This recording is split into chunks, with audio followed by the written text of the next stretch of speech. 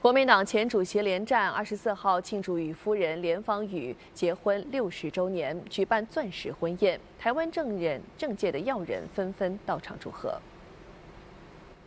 连战即将九十岁大寿，妻子连芳雨称赞连战结婚六十年来一直为家人挡风遮雨，和他始终相濡以沫、携手同行，希望下辈子也能和他在一起。而出席这场钻石婚宴的，包括了传闻有意竞逐国民党主席的台中市长卢秀燕，其他重量级人马包括了萧万长、前国民党主席洪秀柱和吴伯雄、前立法院长王金平、现任立法院长韩国瑜等。马英九因为身体抱恙没有出席，而身在美国的现任国民党主席周立伦以及新北市长侯友谊、红海创办人郭台铭则送花篮致贺。这个